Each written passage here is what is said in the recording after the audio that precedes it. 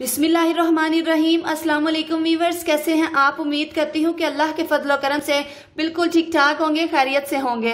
अपनी ज़िंदगी को बहुत ही अच्छे अंदाज से गुजार रहे होंगे। आप देख रहे हैं Subhan food secrets YouTube channel. Viewers आज हम आपके लिए बहुत ही मज़े की, बहुत ही टेस्टी बेसन वाली फ्राई फ़िश लेकर आए हैं। बेसन वाली फ्राई फ़िश कैसे बनती है और इसको बनाने के लिए हमें किन किन चीज़ों की ज़रूरत पड़ती है, सब आज हम आपको बताएँगे। बहुत सी टिप्स एंड ट्रिक्स आपके साथ शेयर करेंगे। आपने वीडियो को एंड तक ज़रूर देखना है और हमारे साथ जुड़े रहना है। चलिए, बिस्मिल्लाह करते हैं। फ्राई फ़िश बनाना स्टार्ट करते हैं।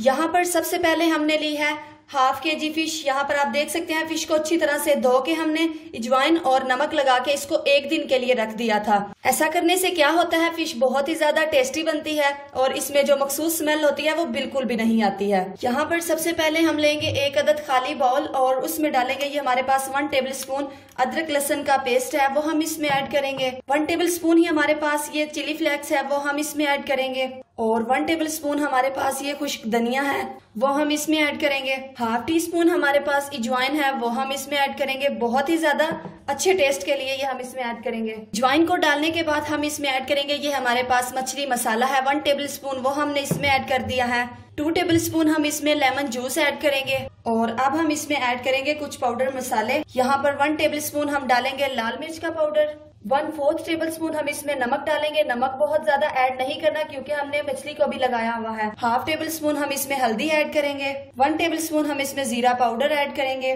वन फोर्थ टेबल स्पून हम इसमें काली मिर्च को ऐड करेंगे। और अब हम इसमें ऐड करेंगे, ये हमारे पास एक चुटकी जर्दा कलर है। ये बहुत ही ज़्यादा प्यारा कलर देता है फ़िश को। इसलिए आपने ज़्यादा नहीं डालना, सिर्फ़ एक चुटकी ही हम इसमें डालेंगे। और अब हम इन सारी चीज़ों को अच्छी तरह से मिक्स कर देंगे। यहाँ पर हमने डालना है बेसन। थ्री टेबल स्पून हम इसमें बेसन डालेंगे और मिक्स करेंगे। हल्का सा पानी डालेंगे अब हम इसमें। पानी डाल के यहाँ पर इसका एक स्मूथ सा बैटर बना लेंगे। ना बैटर बहुत ज़्यादा गाढ़ा होना चाहिए, ना ही बहुत ज़्यादा पतला। ये बैटर यहाँ पर बहुत ज़्यादा गाढ़ा भी नहीं होना चाहिए और बहुत ज़्यादा पतला भी नहीं होना चाहिए। अगर ये पतला होगा तो ये फ़िश पर बिल्कुल भी नहीं चिपकेगा। ये देखिए, यहाँ पर बैटर हमारा रेडी हो चुका है और अब हम इन फ़िश के पीसेस को कोट कर लेते हैं इसमें। ये देखिए इस तरह से। जिन लोगों को कुकिंग नहीं आती है, जो नई नई सीख रहे हैं, ये वीडियो उनके लिए बहुत ज़्यादा यूजफुल है। बहुत ही आसानी से वो इसको बना सकते हैं।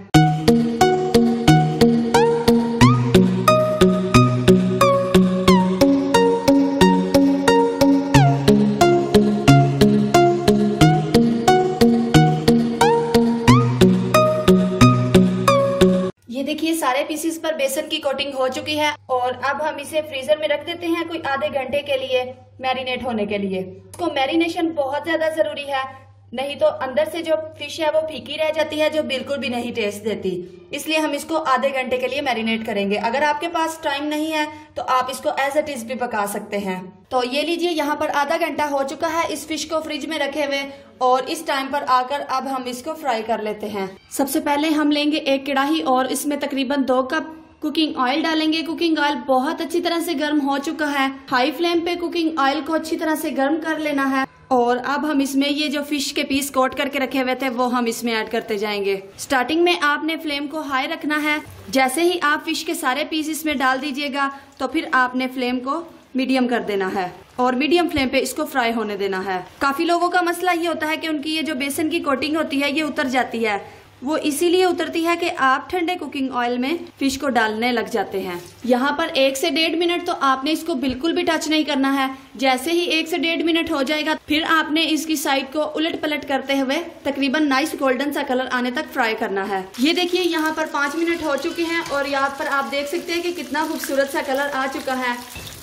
ये देखिए, आप इसको फ़िश पकौड़ा भी कह सकते हैं, बेसन वाली फ्राई फ़िश भी कह सकते हैं। तो ये देखिएगा, कितना खूबसूरत सा कलर आ चुका है। बहुत डार्क कलर आपने इसको बिल्कुल भी नहीं देना है। ये देखिए, यहाँ पर आप देख रहे होंगे कि बेसन की कोटिंग बिल्कुल भी नहीं उतरी है, बिल्कुल इसके ऊपर ही लगी हुई है। तो ऐसा क्यों है? क्योंकि हमने स्टेप्स को फॉलो किया है। हमने बहुत ज़्यादा पतला बेसन नहीं रखा और ठंडे कुकिंग ऑयल में इस फ़िश को नहीं डाला। ये देखिए, कितनी खूबसूरती से हमारी फ़िश तैयार हो चुकी है। और इसी तरह हमारे पास जो बाकी के फ़िश के पीस रह गए हैं, वो भी हम इसमें ऐड करते जाएँगे।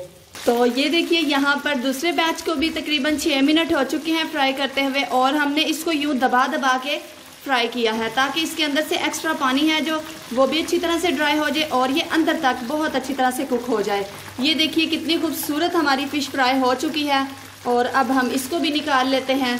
और चलते हैं फाइनल लुक की तरफ़। आप लोगों ने हमारे साथ साथ रहना है। आपको काट के दिखाते हैं कि ये अंदर से कैसी बनी है। तो ये लीजिए, माशाल्लाह, अल्हम्दुलिल्लाह अल्हम्दुलिल्लाह, हमारी बेसन फ्राई फ़िश बन के तैयार हो चुकी है। ये बहुत ही ज़्यादा टेस्टी बनी है, बहुत ही ज़्यादा मज़ेदार बनी है। सर्दियों का मौसम आ रहा है और आपने ज़रूर इसको अपने घर में ट्राई करना है। व्यूवर्स अगर आपको वीडियो अच्छी लगी हो, वीडियो को लाइक ज़रूर करिएगा। अगर आप चैनल पे नए आए हैं चैनल को सब्सक्राइब किए बिना मत जाइएगा।